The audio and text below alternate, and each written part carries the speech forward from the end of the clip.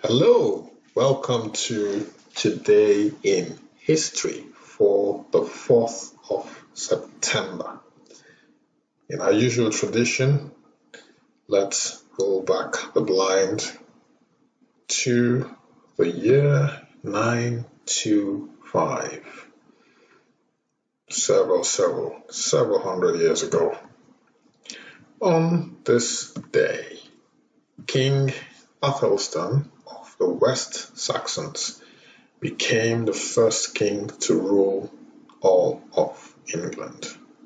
So, Athelstan was king of the Anglo-Saxons from 924 to 927 and king of the English from 927 to 939 when he died. He was the son of King Edward the Elder and his first wife, Ecgwynn. Sounds like a Welsh name. Modern historians regard him as the first king of England and one of the greatest Anglo-Saxon kings. So that's King Athelstan pictured right here, King of England. He became King of England on this day in the year 925. Let's move on to the year 1781. We're in Los Angeles, and as you can see from this poster here, that's an indication of what happened on this day. Los Angeles was founded by Spanish settlers led by a man called Governor Felipe de Neve. It was nicknamed City of Angels, Angel Town, and Tinsel Town. I, suppose that's these names are still the, the nicknames that Los Angeles has today. It's now the second most populous city in the United States and the home, of course, to Hollywood, whose name is synonymous with the American motion picture industry. So that's Los Angeles for you.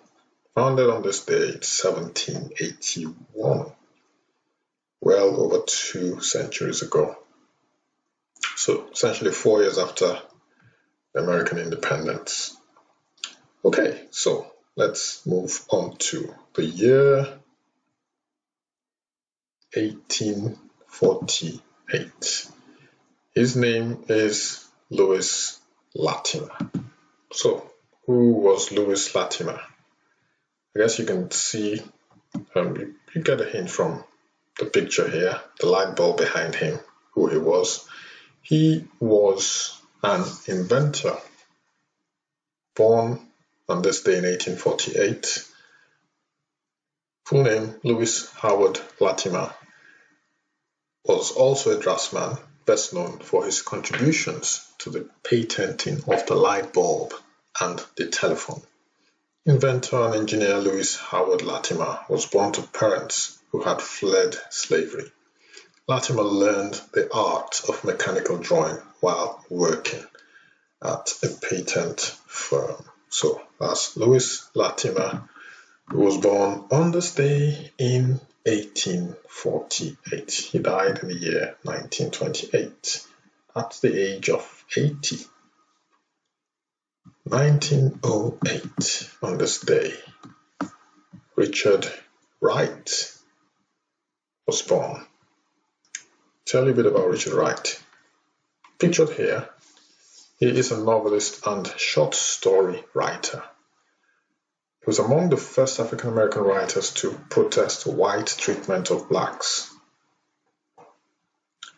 Richard Nathaniel Wright was an author also of short stories, poems, and non-fiction.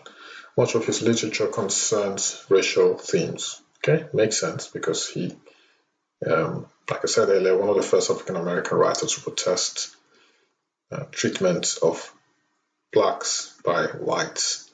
So most of his literature concerns racial themes, especially related to the plight of African Americans during the late 19th to mid 20th centuries, who suffered discrimination and violence in the South and the North. Literary critics believe his work helped change race relations in the United States in the mid 20th century. So that was good of him.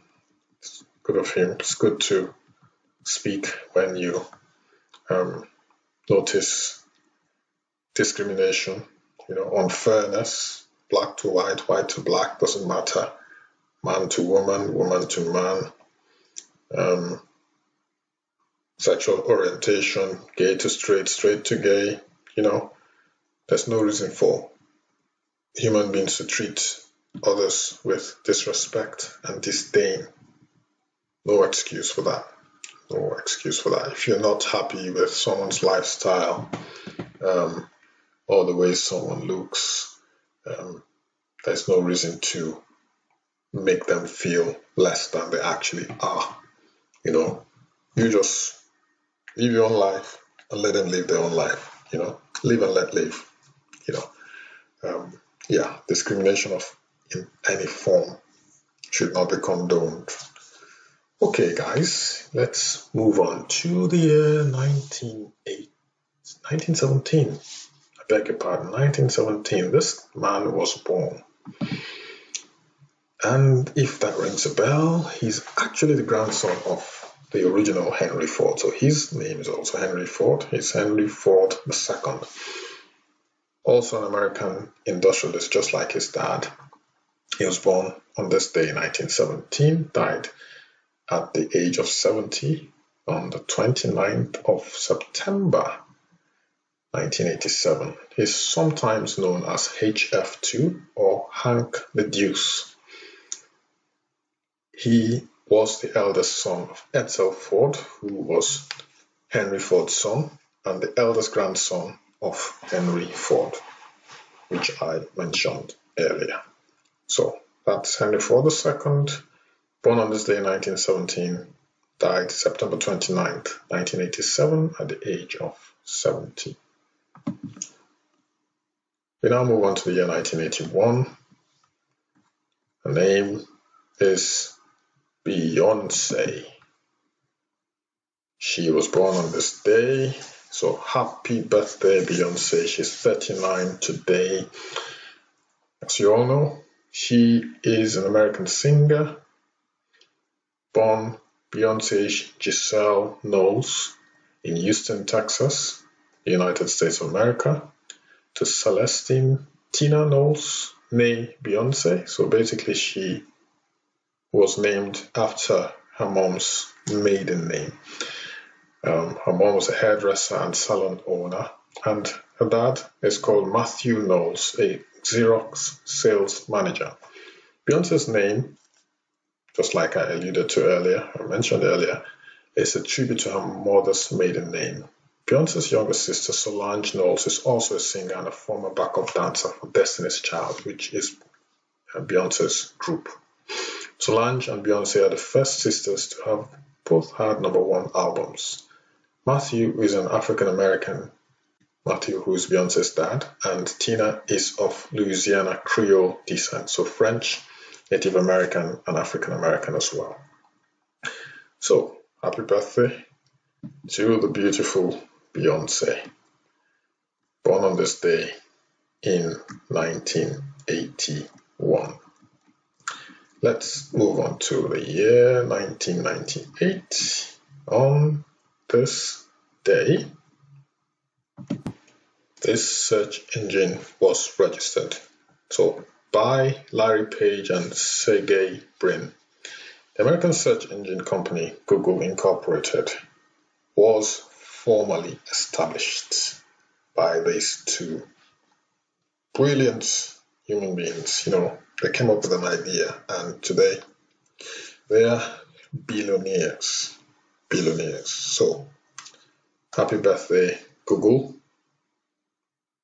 Search engine registered as a company on this day in 1998. So the mighty Google is 22 years old. Today, 2002, on this day, this lady, Kelly Clarkson, she's an American singer, and she became the first winner of the reality television series American Idol. So, on that note, we end today's Today in History. If you like this video, give me a thumbs up. It will help with the algorithm. Also, share this video to your family and friends and consider subscribing. You can do that by clicking on the notification bell so that you receive updates of my video uploads. Once again, my name is Sotonye Afiesimama. Thanks for watching this, and I shall see you tomorrow for another edition of Today in History. Take care, stay safe, bye bye.